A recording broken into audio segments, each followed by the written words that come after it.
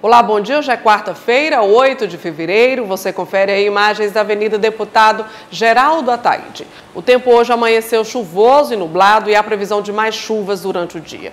A temperatura mínima deve ficar em torno dos 22 e a máxima pode chegar aos 28 graus.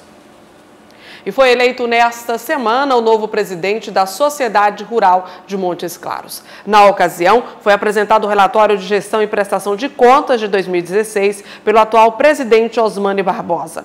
No mesmo evento, os produtores rurais associados à Sociedade Rural de Montes Claros elegeram o 26º presidente da entidade, o agrônomo José Luiz Veloso Maia.